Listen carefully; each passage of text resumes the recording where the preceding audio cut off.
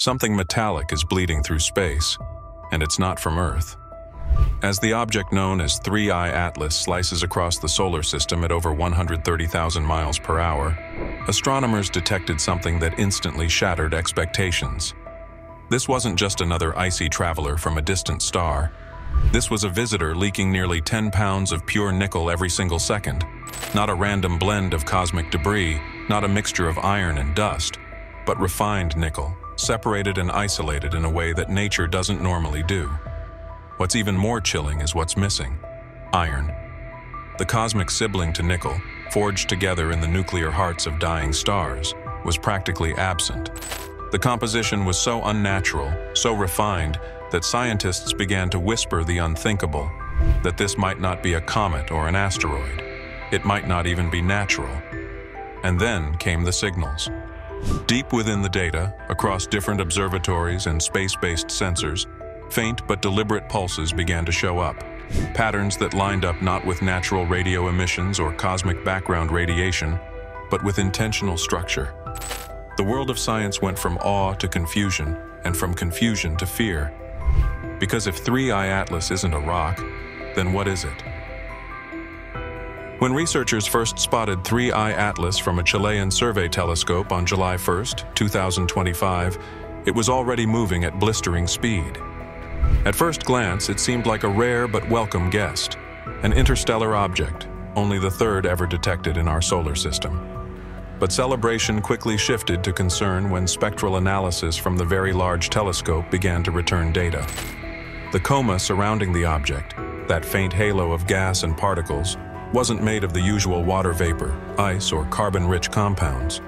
It was leaking pure nickel. In cosmic terms, nickel is not rare, but pure nickel without iron?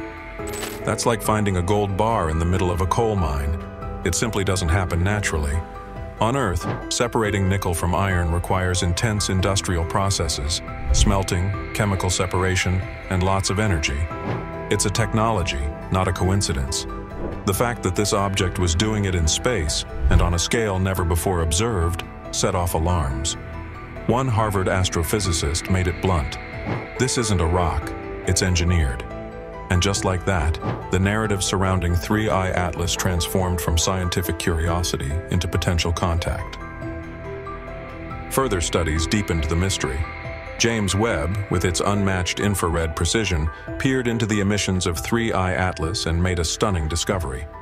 Not only was the object shedding metallic nickel, but it also had the highest carbon dioxide to water ratio ever observed in any comet, 8 parts CO2 to 1 part water.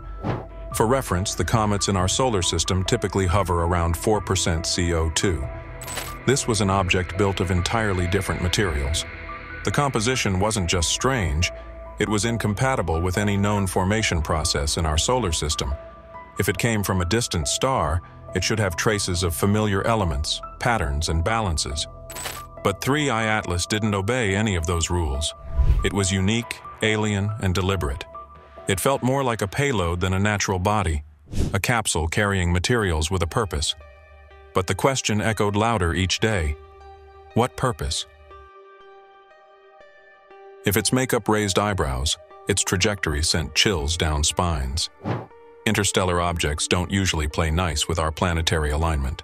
They arrive on unpredictable curves, passing quickly through the system, untouched and unbothered. But 3I Atlas seemed to be doing the opposite. It passed near Venus, then Mars, then Jupiter, all in a single flyby sequence so statistically improbable, scientists calculated the odds at 0.005%. To make matters worse, its orbit wasn't just unusual, it was retrograde. Instead of moving with the flow of planetary orbits, it traveled against the grain, like a car going the wrong way on a one-way street, slowly, as if observing, as if planning, and its perihelion, the point where it would be closest to the sun, occurred behind the sun, shielded from our best instruments, as if someone or something didn't want us to watch during its most active phase. Each of these choices, the flybys, the trajectory, the retrograde motion, would be impossible to explain if this were a natural object. But if it was designed, suddenly everything made sense. As 3I Atlas traveled deeper into the system, signals began to appear. not audio messages or visible lights, but metallic signatures embedded in the ratios of its emissions. Some researchers believe this could be a form of communication, not in words or sounds, but in composition. The idea is as old as SETI itself, that any intelligent civilization might embed a message not in sound, but in mathematics and chemistry. Ratios that any scientifically literate species would recognize. One theory proposes that the nickel-to-carbon ratio, the missing iron, and the extreme CO2 levels are part of an encoded sequence. A metallic Morse code embedded within the object's very structure. Perhaps not a message meant to be read immediately, but a long-term transmission, a signal in physical form, one that would only be noticed by a civilization capable of advanced spectroscopy. In other words, us. The idea that this could be a von Neumann probe, a self-replicating robotic scout, has resurfaced with renewed vigor. Because if the signal is meant to be interpreted, then the object is not a traveler, it's a test. Soon after the trajectory analysis went public, a series of subtle anomalies were reported by observatories tracking nearby asteroids. A cluster of objects in the asteroid belt began to show minute but measurable shifts in their paths, shifts that couldn't be explained by solar radiation pressure, collisions, or any known gravitational interaction. The only common denominator? Each of these objects had recently passed within several million kilometers of 3I Atlas's trajectory. This hinted at something terrifying, localized gravitational manipulation. In other words, 3I Atlas was affecting the space around it in ways no natural object should. It wasn't just interacting with our system, it was changing it. Scientists at the European Space Agency called it gravitational whispering, a term used to describe gravitational distortions so faint they're almost untraceable, unless you're looking for them. The implications were massive. If 3I Atlas can alter the orbits of other bodies subtly and consistently, it might be mapping the gravitational topology of our solar system. Or worse, probing how easy it would be to destabilize it. James Webb then delivered another piece of the puzzle, and it only made things darker. Using its mid-infrared instrument, MIRI, the telescope measured not only the reflected heat from the sun on 3I Atlas's surface, but also internal emissions from within. The results defied every known law of passive thermodynamics. Instead of cooling as it moved away from the sun, the core of 3I Atlas grew warmer.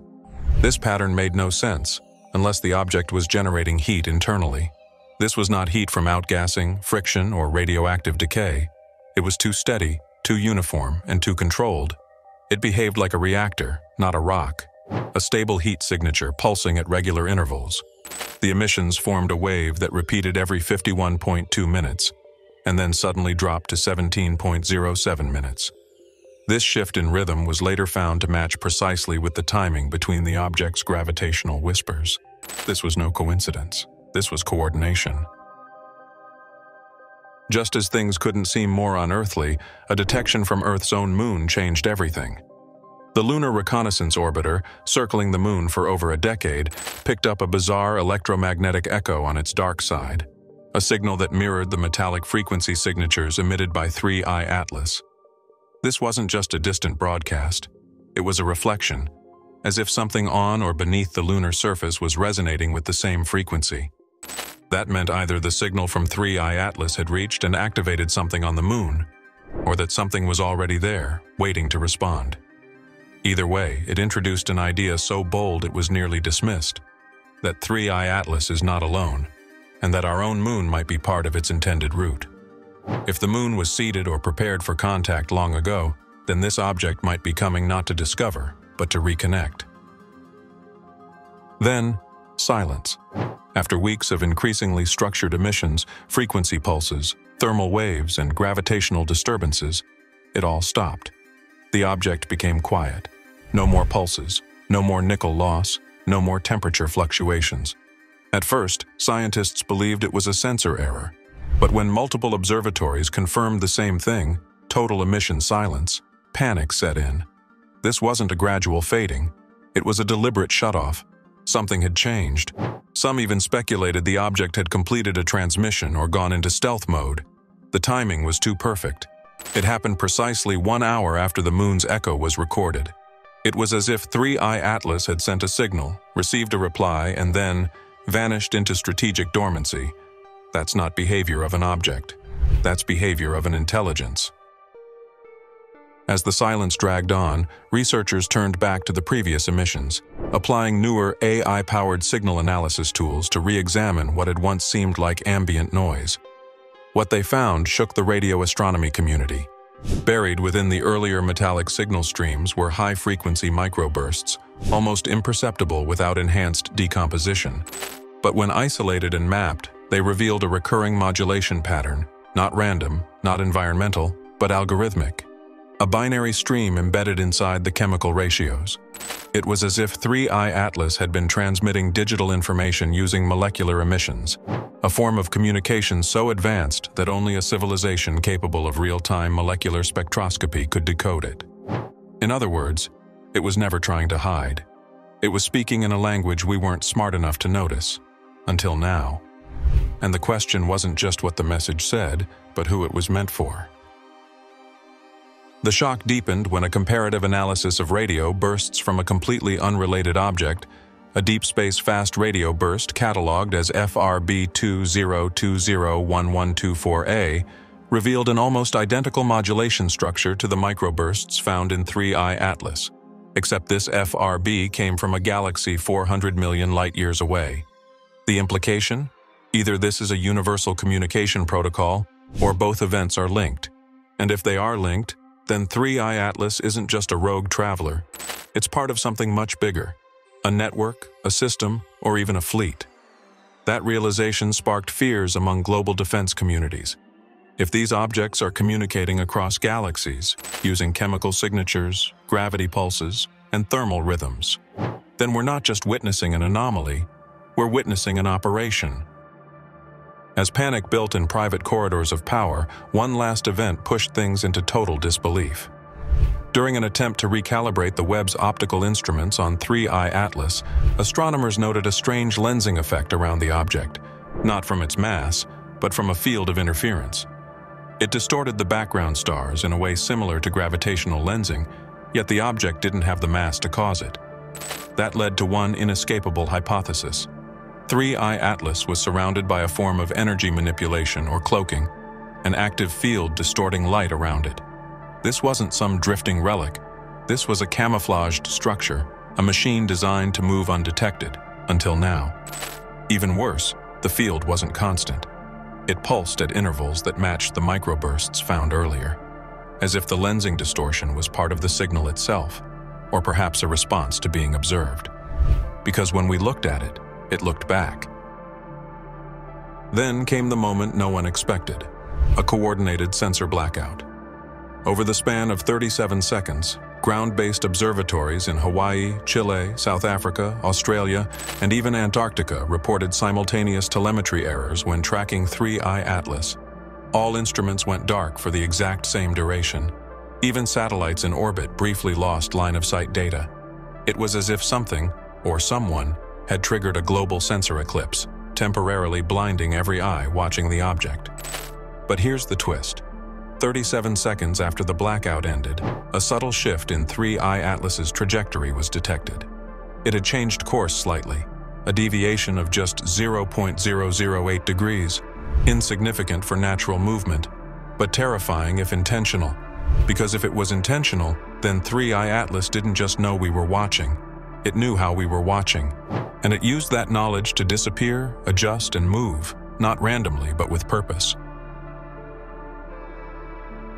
Just as the global sensor blackout was being brushed off publicly as a cosmic coincidence, an anonymous whistleblower claiming ties to the European Space Agency leaked an internal communication dated only hours after the incident. The document referenced an unauthorized data spike intercepted by military-grade infrared satellites, which had momentarily picked up what was described as a thermal bloom with geometric symmetry originating from the object. The geometry, described in the report as a hexagonal radiative pattern, was unnatural. Symmetry at that level doesn't exist in cosmic outgassing. What does? Technology. The bloom lasted 1.3 seconds, just long enough to be recorded before 3i Atlas resumed its silence. This thermal event, matched with the prior cloaking distortions, sent an undeniable message to those with clearance. Something is active, and it is hiding in plain sight. Simultaneously, something strange began to occur in Earth's own protective magnetic shell. Magnetometers in low Earth orbit registered a subtle fluctuation in the Van Allen belts, Earth's radiation shield, right as 3I Atlas aligned with our planet's orbital plane. The shift was small, but it was synchronized with the exact moment 3I Atlas passed behind the Sun and reappeared days later. Scientists described it as a magnetospheric hiccup, a phenomenon only previously observed during massive solar storms. But there were no solar storms, no flares, no explanation. Some suspect this wasn't an external coincidence, but an intentional test, as if 3I Atlas was scanning, pinging, or mapping our planet's magnetic field for vulnerabilities. Others suggested something far worse, that it was mimicking our signature, learning to blend in, to become invisible within our own system. On August 8th, seismic sensors in the Indian Ocean detected a deep, ultra-low frequency vibration that didn't originate from tectonic movement or known maritime activity. The signature didn't behave like a natural quake or underwater volcanic activity. It pulsed rhythmically, like a sonar wave, repeating exactly every 12 minutes. What made this terrifying was its directionality. Triangulation revealed it wasn't spreading outward like normal vibrations. It was focused upward, as if targeting satellites or something in orbit. Analysts dubbed it the soundless impact because while it shook the instruments, it produced no sound waves detectable by hydrophones. It was a vibration with intent, a directed wave possibly interacting with space-based systems. No natural explanation fit the profile. But if 3I Atlas had transmitted a wave through Earth's oceans to reach our orbital ring, it would suggest a level of planning that shatters even our wildest theories. Finally, a commercial CubeSat operated by a private aerospace startup in low Earth orbit began malfunctioning in strange ways. Its internal temperature dropped 40 degrees below operating threshold in minutes. Its gyroscope spun erratically, and worst of all, it started broadcasting a signal it was never programmed to emit. The waveform, once analyzed, matched the microburst signature found earlier in 3I Atlas's emissions. The CubeSat was repeating a signal, not one it recorded, but one it had somehow absorbed, and began echoing back. This meant 3I Atlas had not only reached Earth's orbit with its signal, it had seeded a relay. It had infected or altered a satellite to amplify its message. This wasn't a comet, it was a node, a machine, a messenger, or something far beyond both. And now it had used our own technology to complete its circuit. What began as a strange interstellar rock leaking metallic vapor has unraveled into something far beyond science, something that no observatory, no space agency, no military command was truly prepared to face. 3I Atlas is not just a traveler from another star. It is a system, a transmitter, a mirror held up to our ignorance. Every signal, every emission, every distortion has whispered a message we chose not to hear. You were never alone. Its orbit defied physics. Its structure defied chemistry. Its silence was louder than any explosion in space. And when it began to seed its signal into our satellites, into our oceans, into our very magnetosphere, the fear turned from cosmic wonder to existential dread. Because this isn't the start of a conversation. It's the activation of one. The CubeSat that echoed its signal was not a malfunction. It was a handshake, a test, a trigger, and we passed it. So now we are left with a single staggering truth. 3I Atlas didn't come here to visit. It came here because it had been here before, because it knew where to go, because it knew who we were. And now that its message is in orbit, reverberating across the invisible threads of our planet's magnetic shell, we have to ask ourselves something terrifyingly simple. What happens when the reply arrives? If this video made your spine tingle even half as much as the scientists decoding this mystery, like subscribe and comment below what you think 3i Atlas really is, because whatever it is, it's not done with us yet.